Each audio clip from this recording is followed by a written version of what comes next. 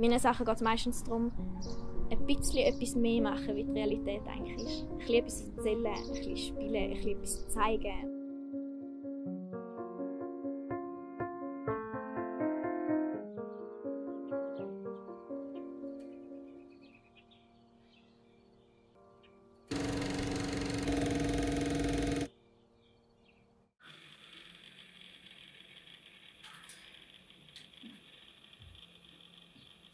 Ist nice. Ähm, lieber so Milch auf die andere Seite. Ja, ziehe den Vorhang noch ein bisschen mehr, dass es ein bisschen Tension gibt, ein bisschen Zug. Ich bin Chantal. Ähm, ich bin Fotografin. Es ist für mich mir mega schwer gefallen, das so festzulegen und zu terminieren.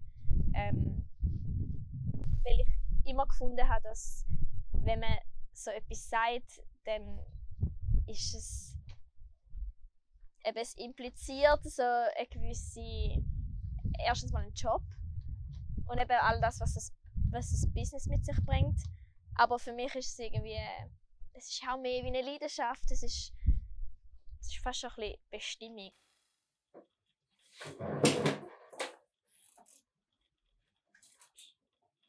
Die erste Spiegelreflexkamera, die ich dann gefunden habe, ich will jetzt äh, fotografieren und ich will es machen, habe ich irgendwie vor, vor etwa vier Jahren gekauft im Interdiscount. Es war gerade eine Aktion und ich bin so, gesagt, mal, jetzt mache ich das, ich will so eine Kamera.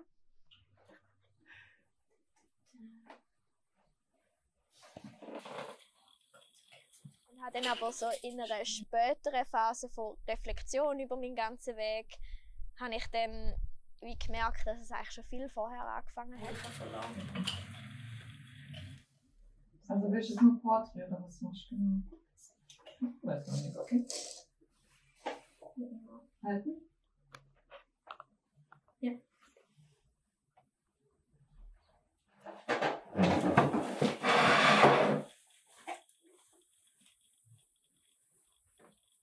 Ich habe mit 15 etwa von meinen Eltern so eine ganz kleine Nikon bekommen. Die ist kleiner als mein Handy jetzt. Und ähm, ich habe dort angefangen, einfach die Kamera habe ich auch immer dabei gehabt.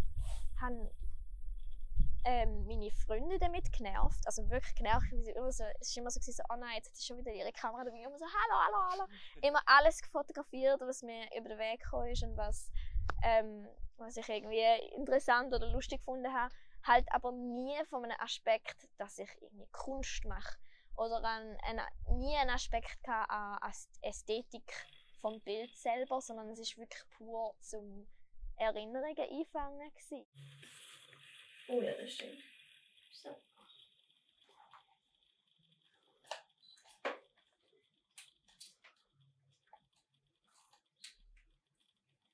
Das Fotografieren selber hat etwas mega, mega, mega, mega Meditatives. Völlig nicht anders. Ich glaube, wir spielen jetzt einfach mit so ein bisschen Porträt.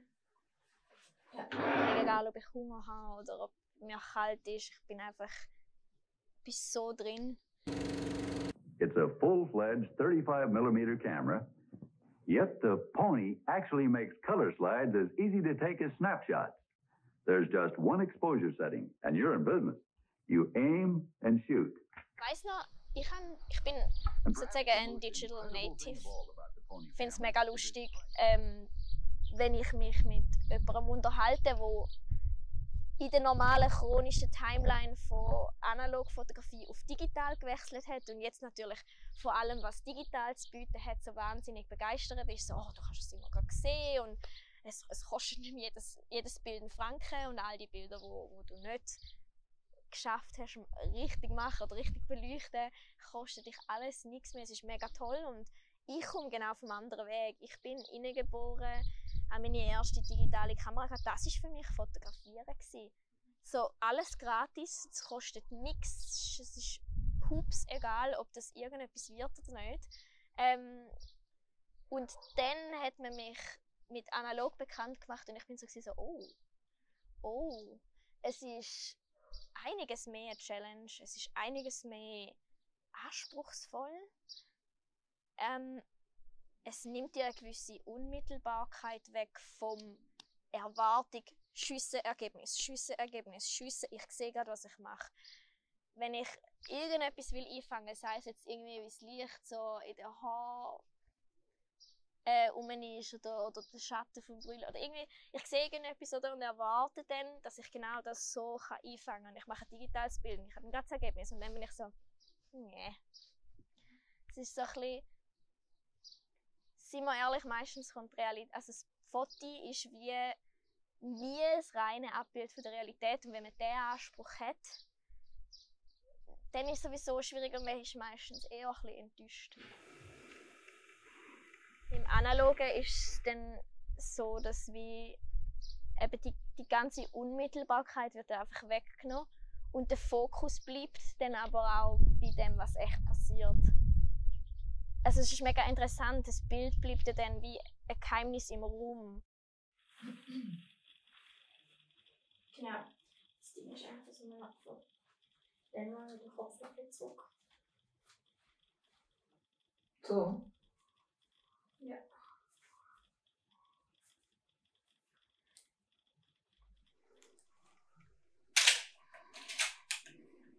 Schau mal.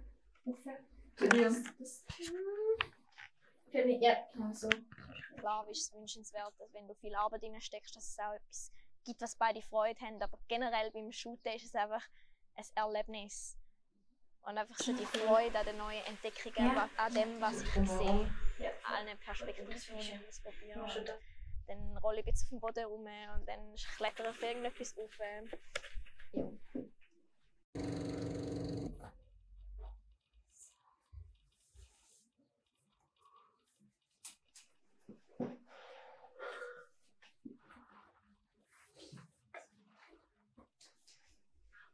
Selbstporträt, ja, das ist wirklich ein großes Thema bei mir. Auf einem Studientrip da haben wir eine ganze Woche können in Italien an der Küste in so einem wunderschönen Haus sein und es ist eigentlich uns mega freigestellt gewesen, was wir für ein Projekt machen wollen. Und niemand hat mir irgendwie modeln und ich bin auch so ein bisschen, ja, ich weiß auch noch nicht so genau was und dann bin ich einfach mal losgezogen und ich habe dann gefunden, okay, irgendwie ist das Einfachste, wenn ich halt selber herstehe. Ja, ich bin immer zur Verfügung, ich mache alles, was ich will. Das ist so wie, ähm, es gibt keine Grenzen, meine eigenen Grenzen sind, die, die gesetzt sind.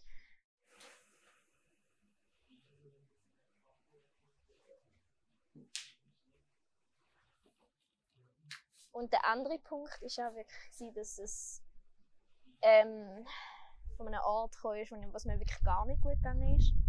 Ähm, sehr großen Herzschmerz gehabt. Und irgendwie habe ich wie gemerkt, dass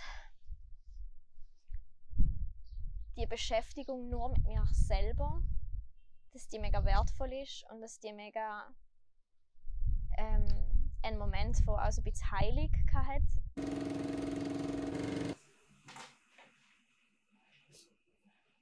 Es klingt recht spirituell, aber es ist eigentlich mega simpel, weil ich habe einfach gemerkt, okay, ich kann, ich kann einen ich habe etwas gefunden, wo ich zufrieden bin mit mir selber. Und ich nichts anderes brauche auf dem Planet wie eine Kamera, ein Stativ und mich selber. Ähm, dass ich mir selber kann Gesellschaft sein dass ich selber aus mir etwas kann machen rausholen Plus dann noch der Moment, wo dazu kommt mit dem Selbstporträt, um sich wie sehen. Und nicht wie ein anderer mich sieht, sondern wie ich mich selber sehe. Und es hat mega geholfen, teilweise die Trauer oder die, der Schmerz oder die, Wut oder die Enttäuschung und all das, was so, ein, was, so, was so eine Trennung mit sich bringt, irgendwie auch sehen, ähm, dass ich nicht muss sagen, wie ich mich fühle, sondern dass ich kann sehen von mir selber, wie fühle ich mich, hat wie irgendwie die Schwere ein bisschen genommen auch. und so ein bisschen ja, irgendwie aufs Bild übergeladen. Also es klar, du bist dann nicht gerade komplett kalt, aber es ist trotzdem so, das hat mir mega geholfen und eben die Kombination dass es unglaublich praktisch ist, plus mir auch noch gut tut, hat mich dann halt auch mega dazu bewogen, nie damit aufzuhören.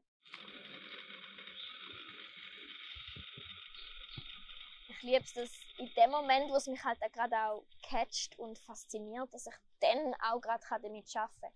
Das ist vielleicht auch die Energie, die ich dann gerade reingebe, weil ich, dann habe ich es ja entdeckt und ich plane dann nicht darüber nach, sondern ich mache es gerade.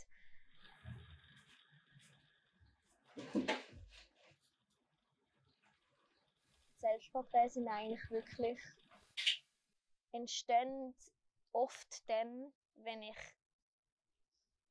entweder unbedingt etwas will kreieren dann kommt das aus einem Punkt, dass ich möchte etwas schaffen und ich möchte irgendetwas aussagen und dann begebe ich mich so auf die Suche, was das dann könnte sein ähm, Oder ich weiß genau, wie ich mich fühle und versuche das dann irgendwie auszudrücken. Ähm, also ich habe eine Webseite und auf der Webseite sind wirklich einfach 100 Bilder drauf. Ich meine Top 100 wählen, das war unglaublich schwierig. Es hat sich angefühlt wie so fünf Bilder, also kann nicht nur so wenig. Ähm, genau, auf Instagram ist so ein das Allermeiste drauf. Dann habe ich noch eine Facebook-Page. Ähm, dann äh, eine Patreon-Page. Das ist so ein etwas Spezielles. Das ist mega etwas Tolles zum Künstler zu unterstützen. Weil es ist eigentlich nichts anderes wie ein Profil, das du erstellst, wo wie Facebook funktioniert oder wie ein Instagram-Profil. Ähm, nur, dass dort die Leute, die dir folgen, dir auch monatlich einen Beitrag zahlen, wie eine, wie eine Zeitungsabo, wie ein Magazinabo, wie ja, das ist halt ja, das ist mega, mega toll. Mit ihnen teile ich dann einfach noch ein bisschen mehr, wie nur mit denen von Instagram. Ähm, eben, die sehen zum Beispiel ganze Rollen von Filmen von A bis Z. Ich finde es immer schön, so durch eine ganze Rolle Film durch kann man so mega die Story verfolgen. Ich kann so mitreisen, was halt auf Instagram ist mega oft ein Bild aus dem, aus dem Kontext auch rausgenommen. Was es dann eben auch so ein bisschen auf das Erzählerische hebt. Also Instagram ist eine spezielle Plattform im Sinne von, dass dich ja eigentlich dann alle kennen. Aber ich kenne niemanden. das ist so ein bisschen, das macht es eben auf die eine Weise sehr anonym, ähm, weil ich ja eigentlich einfach rausstellen kann und, und rausgehen kann und irgendeine anonyme Masse kann dann auf das reagieren oder auch nicht. Ähm, völlig freigestellt. Ähm, aber immer wieder, wenn etwas kommt, was mir wirklich wichtig ist oder wenn ich wirklich etwas teile, wo persönlich ist, was ich schon auch immer wieder mache, wenn dann plötzlich die ganze Masse aufsteht und persönliche Nachrichten schickt und plötzlich so ähm, greifbar wird auch, dann ist es ähm, dann ist es einmal recht überwältigend auch. Weil dann ist so, hui. dann kommt auch viel zurück plötzlich. Sind wir ehrlich, haben wir oft komisch gefühlt, denkt so, ja, das ist schon schräges Hobby, aber ähm, ich war mega beruhigt gewesen, irgendwie andere Leute zu sehen, die das auch so mega verfolgen und so mit Herz und Leidenschaft das machen und dass es wirklich auch eine Kunstform ist und ich bin so, okay, jetzt bin ich safe, ich mache das, das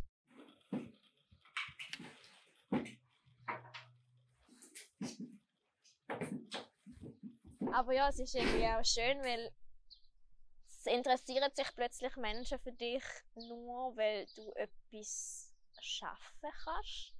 Durch Bilder, durch eine App. Das ist eigentlich schon das ist voll crazy. Ich hatte sehr viele Hemmungen, gehabt, etwas zu teilen am Anfang, ja. Auf jeden Fall in dem Moment, wo du Selbstporträt machst, in einem Setting, wo niemand das sieht, niemand außer du kontrolliert, wer die Bilder sieht und was rausgeht. In dem Rahmen fühlt man sich sehr sicher. Und in dem Rahmen hat es ja auch das Heilende, weil du bist ganz für dich allein, aber sobald es dann daran geht, das irgendwie eben mit der Welt teilen oder mit jemandem teilen, klar, man macht sich auch sehr verletzlich. Zusätzlich ist dann das halt noch dazu gekommen, dass es sich auch für mich für außen noch ein bisschen komischen Hobby angefühlt hat. Das ist ein bisschen komisch, oder? Ähm, und schlussendlich beim Teilen auf Instagram oder auf Facebook ist es halt für mich immer so ein bisschen, okay, am Anfang hast du ja nur deine Freunde, die dir zuschauen.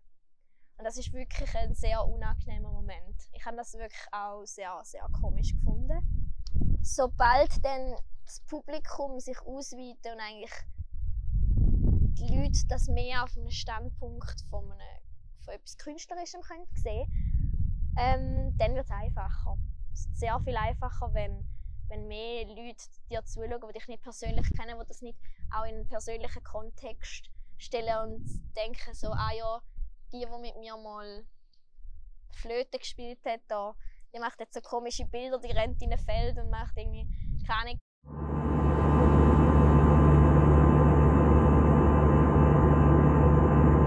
Bilder sind sehr melancholisch. Und dann bin ich ähm, im Februar bin ich auf Malta.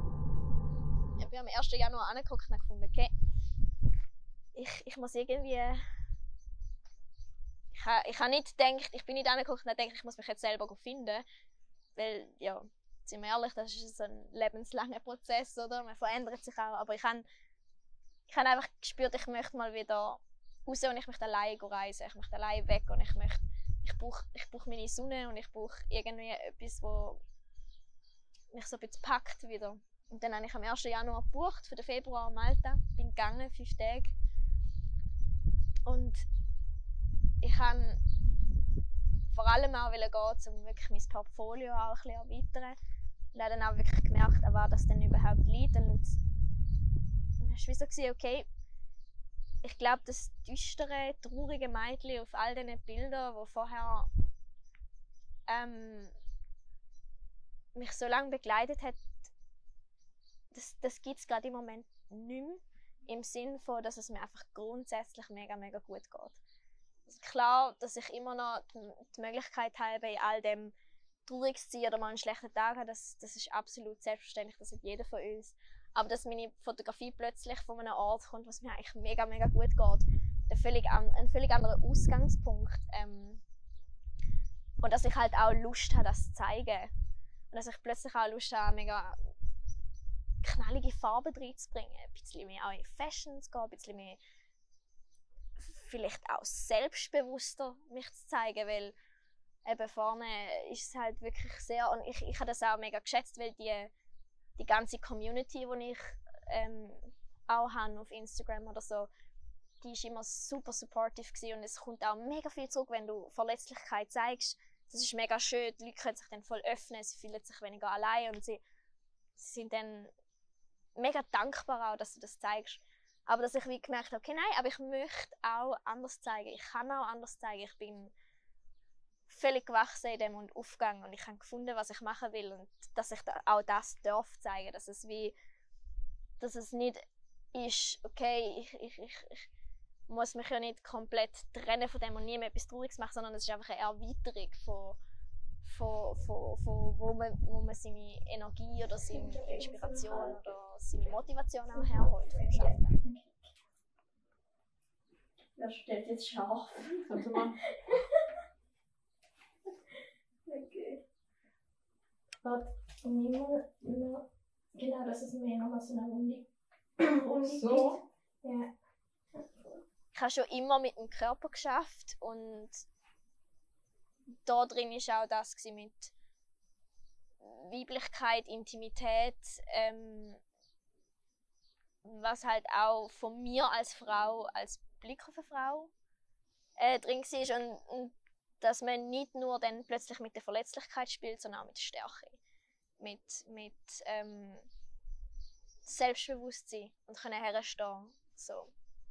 Dass das Gefühl auch mehr reinkommt ist, wie dass ich Haut und Oberfläche als Hüllen für Verletzlichkeit, sondern als Hüllen für Stärke eigentlich.